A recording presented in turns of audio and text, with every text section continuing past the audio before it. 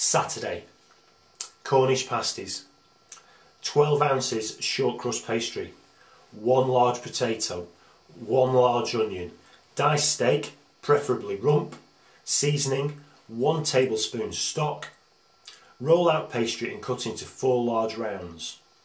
Cut peeled potato and onion into tiny cubes, mix with the steak, seasoning and stock. Put onto pastry, damp the edges and form into four pasty shapes. Seal edges. Bake for 20 minutes in hot oven.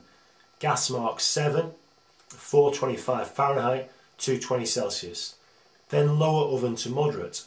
Gas mark 4, 350 Fahrenheit, 180 centigrade for a further 20 minutes. Serve hot or cold with a mixed salad. Rhubarb mould. 1 pound rhubarb, 3 quarter pint water, 2 to 3 ounces sugar, half ounce powdered gelatin, juice of 1 lemon. Cook rhubarb with water and sugar until a puree. Soften gelatin in lemon juice, add to hot puree and stir until dissolved. Pour into mould and leave to set.